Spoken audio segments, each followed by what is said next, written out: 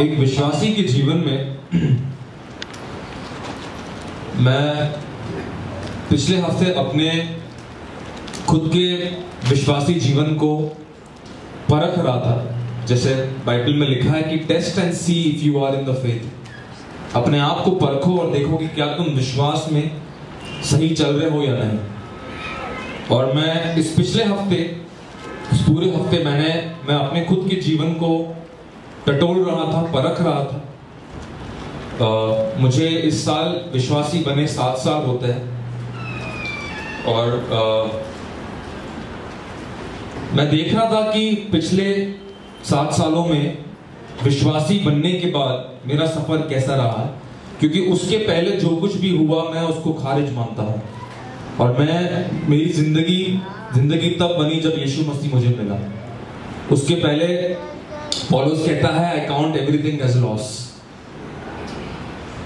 और मैं ये देख रहा था कि पिछले छह या सात सौ नौ सालों में मैं कितना स्थिर रहा हूँ विश्वास में। और एक विश्वासी बनने के बाद किस किस्म की परिस्थितियाँ मेरे जीवन में आई किस किस्म के चैलेंजेस आए और कहाँ पर मैं उस चैलेंजेस में मैंने उस, उस चैलेंजेस का आत्मिक रीति से सही उत्तर दिया या आत्मिक रीति से सही सही स्टैंड लिया और कहाँ पर मैंने सही स्टैंड नहीं लिया, इन बातों के ऊपर मैं गौर कर रहा था। और पूरे हफ़्ते मैं यही बात सोच रहा था कि अगर मैं खुद की बात भी करूँ कि प्रभु ने विश्वासियों को स्थिर होने के लिए बुलाया है। पास्टर ने आज से दो संडे पहले कहा था कि हमारा जीवन सुपर नेचुरल होना चाहिए। एक होता है नेचुरल एक होता है सुपर नेचुरल और नेचुरल के नीचे उन्होंने एक नया शब्द बताया था अंडर नेचुरल और मैंने इस बात के ऊपर गौर किया कि बहुत बहुत बार शायद मेरे जीवन में, मैं कई बार, मैंने सुपर नेचुरल जीवन भी जिया है। कई बार मैं सुपर नेचुरल से नेचुरल में भी गिरा हूँ। और कई बार मैं नेचुरल से अंडर नेचुरल में भी गिरा हूँ। और जब मैंने ये बात प्रार्थना में रखी तो मुझे साफ़ मेरे दिल में बात आई कि जो भी नेचुरल और अंडर नेचुरल है वो प्रभु की तरफ़ से नहीं है। एक विश्वासी का जीवन 24/7 सुपर नेचुरल होना चाहिए। और अगर वो अगर किसी कारण से, किसी भी कारण से, कारण कोई भी हो, वो चीज़ उसको अगर सुपर नेचुरल से नेचुरल में लेके आ रही, आसमानी से वापस वो अगर पृथ्वी पे गिर रहा है तो वो वचन के विपरीत जी रहा है, क्योंकि वचन कहता है कि प्रभु ने हमको यीशु मसीह के साथ आसमानी जगहों पर बिठा दिया है। हमारा जीवन, आज हमने जैसे पहला गीत गाया आसमानी खुशियों से, हमारा जीवन आसमानी है और आसमानी ही रहना चाहिए। और मेरा जो ये पूरा विचार था ये सिर्फ़ एक फिलोसफी नहीं थी, मैंने प्रभु से कहा प्रार्थना में कि प्रभु, इसका सल्यूशन क्या है? मैं हमेशा सुपर नेचुरल कैसे जीव मैं, मेरे जीवन में वो अस्थिरता नहीं आनी चाहिए, जहाँ पर मैं गिरता हूँ, या मैं, मेरा आसमानी स्तर नीचे होता है। और जैसे मैं दिन पे दिन, हर दिन इस बात की मैं दुआ कर रहा था मेरे दिल में प्रभु ने एक बात डाली जहाँ पे उन्होंने मुझे याद दिलाया कि जब किसी ने यीशु मसीह से पूछा था कि, हे रबी, बता हम कैसे प्रार्थना करें? और यीशु मसीह ने कहा, आप लोग जानते हैं, आप बता सकते हैं, यीशु मसीह ने क्या कहा? कि तुम इस रीति से प्रार्थना करना कि, ऐ हमारे बाप, तू जो आसमां पे है, तेरा नाम पाक माना जाए, तेरी बादशाहत आए। तेरी मर्ज़ी जैसे आसमान में पूरी होती है वैसे ही ज़मीन पर भी हो। हमारी रोज की रोटी तो आज हमको दे। हमारे गुनाह माफ़ कर और हम भी अपने गुनेगारों को माफ़ करते हैं। आजमाइश में ना ना, बल्कि हर बुराई से बचा, क्योंकि बादशाही कुदरत और जलाल हमेशा हमेशा तेरे ही है। और मैं ये सोच रहा था कि जब यीशु मसीह ने ये प्रार्थना, अपने शागिर्दों को दी, यीशु मसीह ने ये प्रार्थना हमको दी तो इस अगर यीशु मसीह ने, एक तो यीशु मसीह खुद ऊपर से प्रार्थना और उन्होंने हमको दी, ये तीन बातें हमारे जीवन को स्थिर बनाने के लिए काफ़ी है। कि यीशु मसीह ने कहा कि प्रे लाइक दिस और अगर उनके जबान से ये बात निकली है कि ये प्रार्थना होनी चाहिए तो वो सिर्फ़ हमको एक हाथ में प्रार्थना का पैम्फलेट नहीं दे रहे, वो हमको बता रहे हैं कि ये तुम्हारी ज़िंदगी है। और मुझे, फिर मैंने वो पास्टर का गीत सुना, मैं अपने स्टूडियो पे था, मैंने उस गीत को लगाया और मैंने देखा कि गीत शुरू होता है और गीत का जो पहला पहला जो मुखड़ा है, वो इस बात पे समाप्त हो जाता है कि, ऐ हमारे बाप, तू जो आसमां पे है, तेरा नाम पाक माना जाए तेरी बादशाह है। हम जब उस गीत को गाते हैं हम कैसे गाते हैं?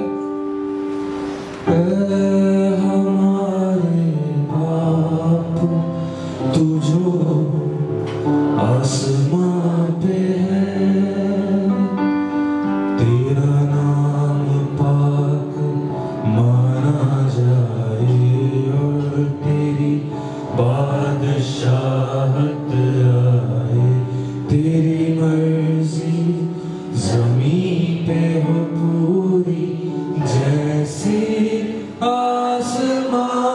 पे है। गाने का जो मुखड़ा है, इस बात पे समाप्त हो गया। और मैं इस बात को इसलिए आपके सामने लाना चाहता क्योंकि ये मेरा प्रोफेशन है। और मुझे सिखाया गया है कि गाने का जो सबसे महत्व अंग होता है, वो ये होता है। और मुझे ये बात मेरे दिल में प्रभु ने डाली कि तुम्हारा जीवन अस्थिर इसलिए रहता है, तुम सुपर नेचुरल या नेचुरल अंडर नेचुरल में इसलिए गिरते हो क्योंकि तुमने मेरी बादशाहत को अपने जीवन का प्रायोरिटी नहीं बनाया है। तुमने इस बात को जब तुम प्रार्थना यीशु मसीह ने कहा, जब तुम प्रार्थना करते हो ये प्रार्थना दरअसल हमारे जीवन का एक ऑर्डर है। मैं आप, जो बात मेरे दिल में मैं आपको बताना चाहता हूँ।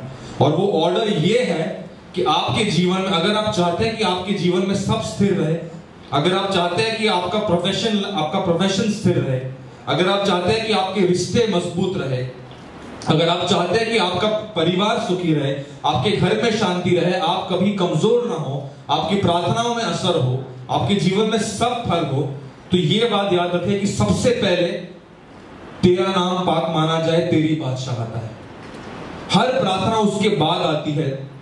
यीशु मसीह ने कहा कि तुम्हारी हर प्रार्थना की का शुरुआत यह होना चाहिए कि lord your kingdom is my priority प्रभु, तेरी बादशाहत, तेरा राज्य, तेरा योर गॉस्पेल तेरा सुसमाचार जो है, तेरा जो मैनकाइंड के लिए प्लान है, तूने जो मुझे उद्धार दिया है, ये मेरे लिए प्रायोरिटी है और हर चीज़ इसके बाद आती है। ये जब बात समझ तेरी मर्ज़ी ज़मीन पे हो पूरी। प्रभु की मर्ज़ी ये है कि हर कोई बच जाए। प्रभु की मर्ज़ी यह है कि उसका, उसकी बादशाहत यहाँ पर आए। किंगडम माइंडेड जब हम किंगडम माइंडेड नहीं होते, जब हम बादशाह, प्रभु की बादशाही, मुझे आज बताइए कितने ऐसे विश्वासी हैं जिनकी प्रायोरिटी किंगडम है? आपको लगता होगा कि सिर्फ़ जो जो जो प्रभु के सेवक होते हैं सिर्फ़ पास ये उनकी ज़िम्मेदारी है। बाइबल कहती, नहीं, ये आपकी भी ज़िम्मेदारी है। आप जब अपने घर को उस बादशाही के मुताबिक तेरी मर्ज़ी ज़मीन पे हो पूरी। आपके घर में जब प्रभु की मर्ज़ी पूरी होती तो आपका घर स्वर्ग बनता है। और उससे प्रभु का राज्य मज़बूत होता है, क्योंकि हर जगह, एक बार पास्ता ने बताया था कि हर जगह प्रभु जो है सॉकेट्स तैयार कर रहा है, अपने आसमानी सॉकेट्स। लेकिन हमारे घर में शांति नहीं है, हमारे घर में स्पिरिचुअल ऑर्डर नहीं है क्योंकि मैं आपको बताता हूँ, उसका कारण यह है हमारी प्रार्थना यहाँ से शुरू होती है कि हमारी रोज की रोटी तो हमको दे। ऐ हमारे बाप, हम बाप की भी बात नहीं करते, हम कहते हैं कि दे। लेकिन यीशु मसीह सिखाता कि खुदा तुम्हारा पिता है। हम, हमारी जरूरतें बादशाही के पहले आती है। वो यीशु मसीह ने प्रार्थना में सिखाया कि सबसे पहले बादशाही, उसके बाद में हमारी रोज की रोटी तो हमको दे।